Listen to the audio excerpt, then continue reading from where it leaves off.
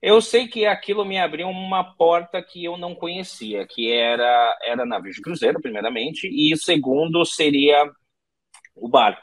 Falei, poxa, eu quero ser aquele cara. O que, que eu preciso fazer para ser aquele cara? Daí eu perguntei, na época, eu perguntei para o meu manager, ele falou: ah, difícil você mudar de departamento, especialmente aqui dentro, não tem como, não tem como, não tem como. O que aconteceu? Desembarquei, fui chamado para uma outra companhia que se chama Island Cruises, que não existe mais, e eu trabalhei ali como head buffet.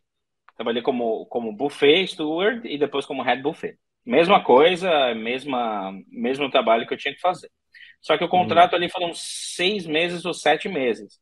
E a companhia era de Londres, e foi meu primeiro salário em libra esterlina. A gente ganhava em libra esterlina na época. Que top! É, e aí eu lembro que eu, gastei, eu ganhei muito dinheiro, mas eu gastei muito dinheiro ao mesmo tempo. Mas o que, que eu uhum. fiz? Nesse segundo contrato para o terceiro, eu falei, mano, eu não vou mais voltar no restaurante. Então, o que, que eu fiz? Eu peguei aquele dinheiro e investi em mim. Então, eu fui para Amsterdã e fiz um curso de mixologia que se chama EBS, European Bartender School. Então, eu fiz a mixologia básica, mixologia mediana e mixologia. E me formei como Master Mixologist. Desculpa, mixologista avançado. Saí de lá e apliquei para MSC. Na MSC, eu entrei como bar server.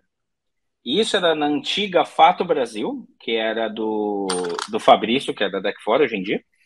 E eu lembro que eu embarquei, eu era, acabei sendo professor dele da, na época e eu acabei embarcando. Fiquei oito meses no contrato. Entrei como bar server, ou bar waiter, whatever.